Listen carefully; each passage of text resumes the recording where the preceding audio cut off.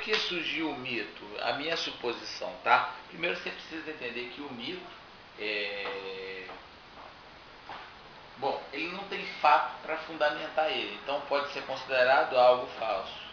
Pode ser considerado, pode ser considerado. Estou frisando a palavra que pode ser considerado, porque nem sempre é falso. É isso que eu quis dizer, Tiago? Não sei. Uma pergunta aqui cai aí na tua cabeça. Bom, mas quem que visava o mito? Vou dar meu exemplo imagino que deve ter sido assim. Imagina eu, homem das cavernas, procurando coisa para poder comer, vivendo de destruição, fazendo amor na, nas cavernas. É só um exemplo, tá, gente? É, eu estou vivendo perdido no mundo aí, ainda não desenvolvi o dom da comunicação, nem do fogo. É, então lá, né?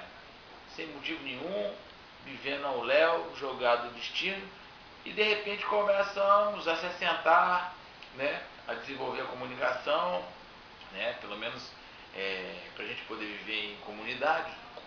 Acontece o sedentarismo, o sedentarismo é, na perspectiva histórica lá do homem, neandertal, ou ambiental, sei lá qual a classificação, denominação, porque eu não sou é, estudioso dessa área é, de denominações de nomes históricos, eu tenho que dizer, eu sou burro nessa área, inclusive, burro pra caramba. E nem vou ficar estudando aqui para poder dar aula disso. Não é meu interesse? Bom, você me desculpa, mas vamos lá. É, continua com a contextualização, com a historinha, né? Para ficar mais fácil o entendimento. Aí a gente começa a desenvolver alguma comunicação verbal, fogo, sede, é, vivemos em comunidade, sedentarismo na época era isso, cultivar o alimento, e de repente a gente começa a se perguntar, Pô, por que, a gente está aqui, meu Deus do céu?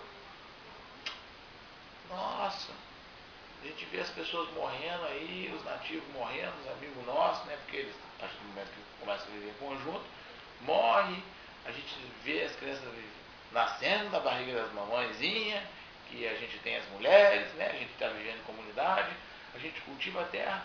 E qual o sentido disso tudo? Bom, daí surge.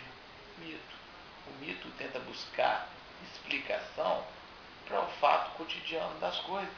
É, na época, imagina só, não tinha nada para explicar, então surgiu diversos deuses. Pode perceber, o início foi muitos deuses, até sendo unificado pelo cristianismo e mais uma série de fatores aí que não cabe eu falar aqui a respeito da história. Tem gente muito mais capacitada que eu. Eu só estou dizendo em síntese mais ou menos o que, que aconteceu assim e bem é, peneirado, razoavelmente mesmo assim, e ruim, tá? Para quem é historiador deve estar até falando, esse cara é um, é um desgramado, está destruindo com a história. Bom, então, o mito parte do pressuposto de que ele vê um relâmpago, começa a explicar aquilo ali. Por que, que esse relâmpago? É, esse ano a, o cultivo, a alimentação foi, foi menor, graças ao Deus. Começa a achar justificativas que não tem fundamento e aí, que para mim, da onde se origina o mito.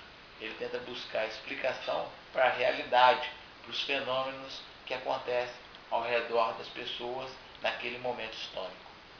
Engraçado que ele ainda é predominante até hoje. Fique esperto e se pergunte o que eu quis dizer com isso. Obrigado.